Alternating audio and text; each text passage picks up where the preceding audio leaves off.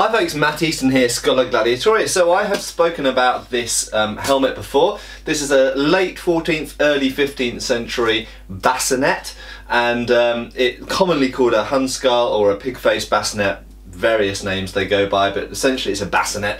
This is the bascinet, incidentally. Bascinets can come with various types of visor, um, but the bascinet itself is dictated by the shape of this helmet, quite characteristic shape. Um, that was worn throughout the 14th century, um, but this type of visor really starts to appear commonly from about 1380 onwards, although they probably started to appear about 1370. Um, and I made some points previously talking about vision, breathing and hearing. These are often things that are overlooked when we talk about armour. Incidentally, some of you asked if I could put a camera inside here so you can see out of the visor and see what I'm seeing. I'm going to have a play around with that with my um, with my action cam or my GoPro, um, my cheap version of a GoPro, and see if I can get that to work. Um, I'm not sure if it will work or not, but anyway, I'll have a try for you. Um, so a couple of other points that I wanted to talk about about this type of helmet that often gets overlooked when we're talking about you know the development of armour and these sort of grand topics and kind of overview topics. We often ignore some really important fundamentals when we're talking about armour. So first of all I'm going to put the helmet on. Slightly easier to do if I put the uh, visor up. You will notice there is no chin strap and I'm going to talk about that in a, a minute. Okay so it goes on fairly easily. There we go dump it on the head and it's done.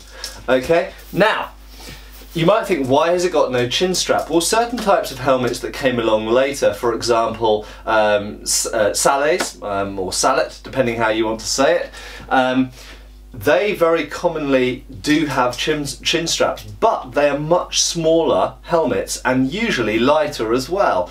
Um, and because they sit higher on the head and finish higher up, and you'll know that of course with the Salet um, it generally has a, a bevor for the lower half of the face, at least if you're going to fully armour up. If you're a more lightly equipped soldier such as an archer or a billman, um, then you just wear the, the salet on the top of your head and not worry about the lower half of your head or your face. Um, but because it sits higher up, up on the head and is a generally smaller helmet and a generally usually lighter helmet, um, it requires a chin strap because a, a, a blow to the side could potentially remove it from the head or indeed if you just lean forward it might fall off the head. Now with a with a bascinet like this this goes much further down the head. You probably can't see because it's underneath the aventail, which is the mail over the padding that we've got here to protect the neck and chin uh, um, and round sides. The aventail actually overlays, um, overlaps rather, the plate underneath, but the plate actually comes all the way down to there okay? So if I actually tilt my head to the side the um, plate of the helmet is resting on the top of my shoulder at that point. So it actually protects quite a long way down. And because the helmet because my head is so deep into the helmet it's actually quite difficult for it to be knocked off or for it to accidentally come off my head.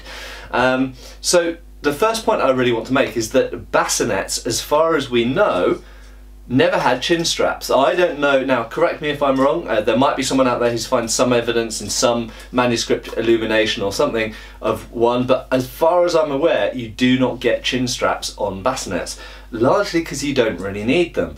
Um, and there is another reason why you don't need that chin strap, and that is the weight of the helmet. Now, this is a point I want to talk about in regards to how a helmet works on your head. So most people think about armour as working because it um, forms a kind of force field around you, okay? That a sword is never going to be able to cut through this hardened steel shell around my head, so therefore the sword can't offend my head.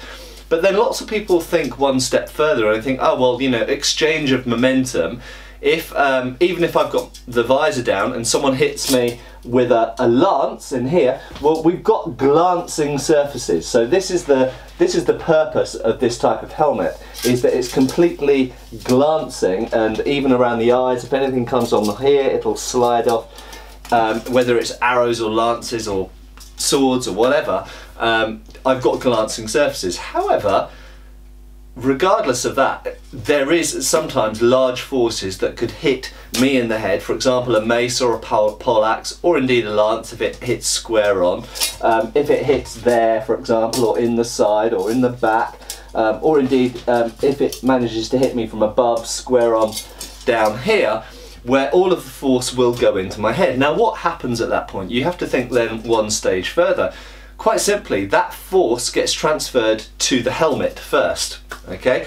Now, the helmet is sitting on my head securely, okay, but when I do this and shake my head around, it does move a bit on my head. So the first thing is that the the force, the energy from that, and I'm not going to pretend that I'm a, uh, a physicist here, and I'm not going to give a physics lecture, but in, I'm going to talk in the most simple terms. The energy from that impact um, first of all, some of it is lost to glancing. Technically, some of it's lost to sound and other things, but um, a lot of the force will be uh, a lot of the time lost to glancing blows. But assuming it hits square on, the force goes into the helmet. Now, the next thing that happens is the helmet moves on my head. Okay?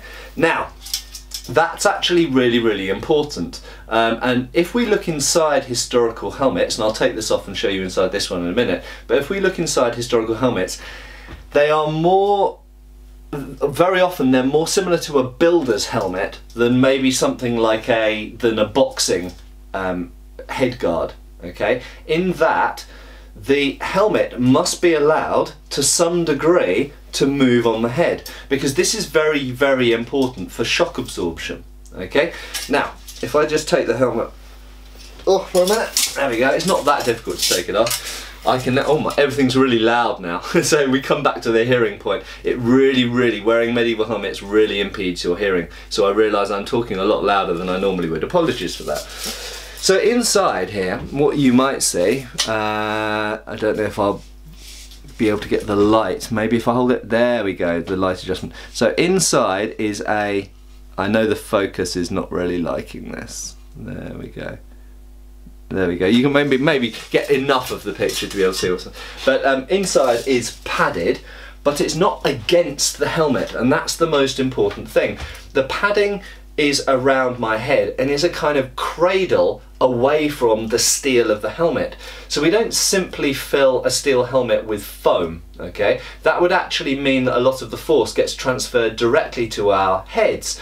Now, um, I've not studied uh, brain injuries in boxing, but as I understand it, there are some people who believe that head guards worn in boxing can contribute to a greater degree of um, brain injury. Um, and the way that a boxing head guard is essentially right on the head is very, very different to a medieval helmet. Medieval helmet has a, a hard, heavy shell around a, essentially a floatable, movable inner okay and that's very very important for shock absorption. Now the final thing I want to talk about that's really important to shock absorption you'll notice when I move this thing around it has a certain weight to it. I haven't actually weighed this but I'm guessing it weighs probably about uh, probably about six or seven pounds. That's my guess. It's about the same weight as a yeah, it's a seven pound sledgehammer, I would think. It's definitely more than five pounds in weight. Okay, so that has a certain mass to it. Now you might think that that's a disadvantage because you know you've got this mass on your head, and yeah, definitely it, it brings your center of gravity higher and means that you have to um, move a little bit differently. And when you get hit in the upper part, you have to react in a slightly different way to, to deal with the fact that you are now more top heavy than you normally would be. However, that weight is really important and the main point I want to make is that mass in that helmet is part of what absorbs those heavy blows.